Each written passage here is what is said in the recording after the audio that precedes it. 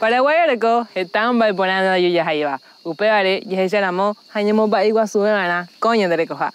Bienvenidos a otro especial de Paraguay Salvaje. Y este especial está dedicado al grupo animal que más sensaciones negativas causa el ser humano, las serpientes. Y justamente en esta ocasión vamos a conocer los mitos y verdades que causan esta sensación. Acompáñenme.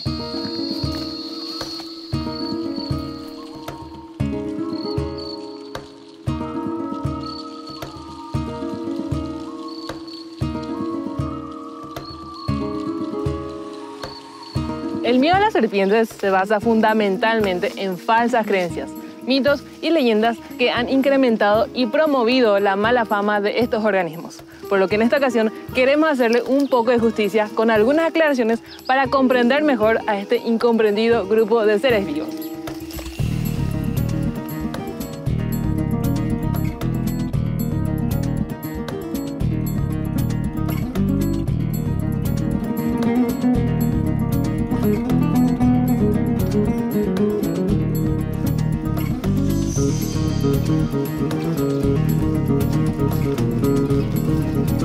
Una de las principales concepciones erróneas sobre la naturaleza de las serpientes es pensar que todas son venenosas para el ser humano.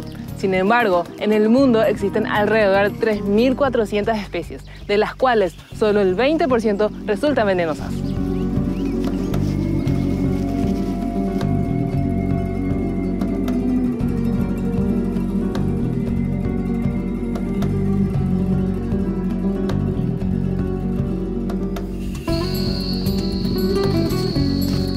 En Paraguay tenemos en total eh, alrededor de 125 especies de serpientes, de las cuales solamente el 10% corresponde a especies venenosas y pertenecen únicamente a tres géneros, que son las del género de la yarara, la cascabel y la coral.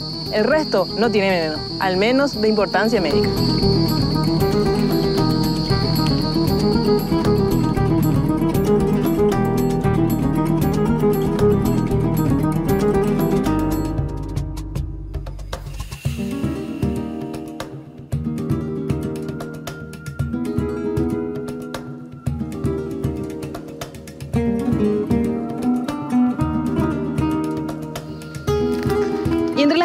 Serpientes que no tienen veneno se encuentran, por ejemplo, los de la familia Boidae, es decir, las boas y las anacondas, que son serpientes que matan a sus presas por construcción.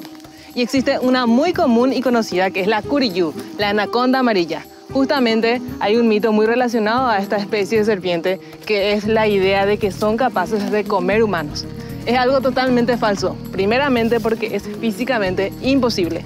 La presa más grande que es capaz de consumir una corillú es la de un carpincho joven. Además, los seres humanos no formamos parte de la dieta de estas serpientes.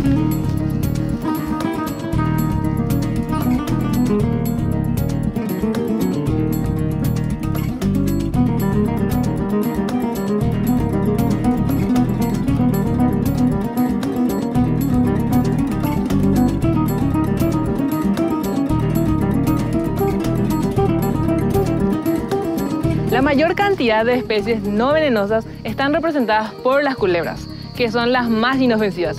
Sin embargo, son las que con mayor frecuencia son eliminadas injustamente.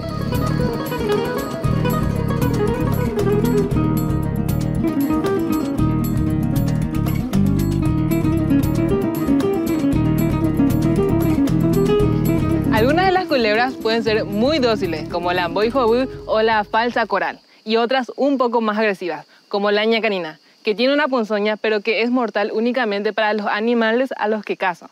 Para las personas no tiene ninguna importancia médica.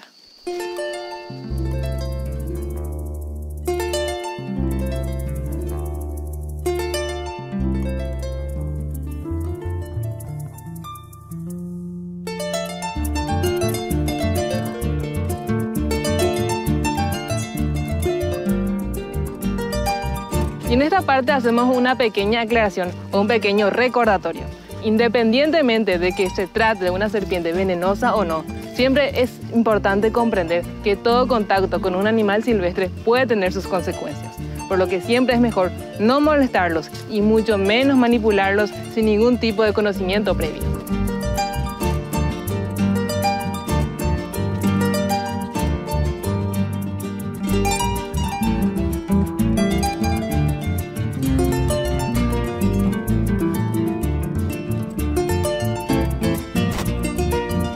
Siguiendo con más mitos sobre estos animales, existe una creencia muy común también que sostiene la idea de que las serpientes son capaces de perseguir insistentemente a las personas para morderlas.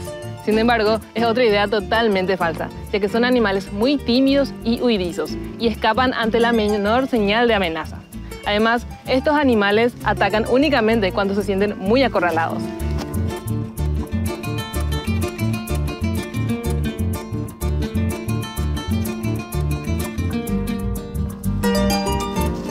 También es muy frecuente escuchar que existen serpientes que pican con la cola.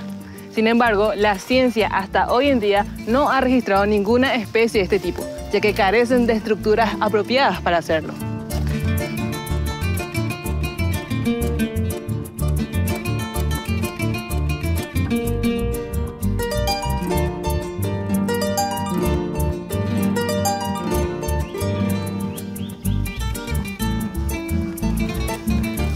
Ver, la mayor parte de las serpientes no suponen ningún peligro para los seres humanos. Al contrario, ellas al alimentarse de roedores y demás alimañas nos están librando de animales que sí pueden ser perjudiciales para nuestra salud, como por ejemplo las ratas que son portadoras de muchas enfermedades y que se pueden convertir en verdaderas plagas en los ecosistemas si es que no son reguladas por las serpientes.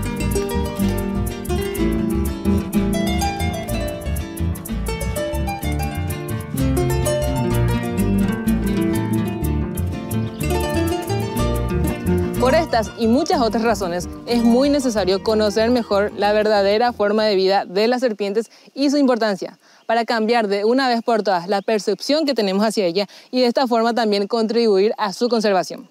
Espero que haya disfrutado de este especial y nos volvemos a encontrar en una próxima edición con más de Paraguay Salvaje.